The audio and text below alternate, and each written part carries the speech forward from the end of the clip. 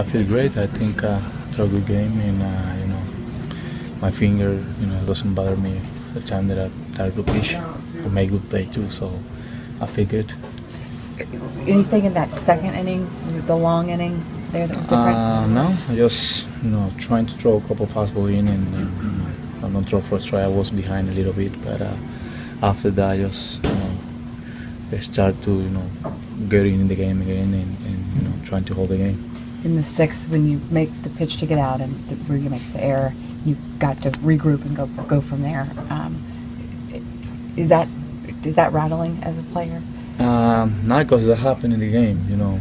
Uh, you know, if you don't play, you don't want to make errors. So he's a good player, and, and you know that's happened. That's part of the game too.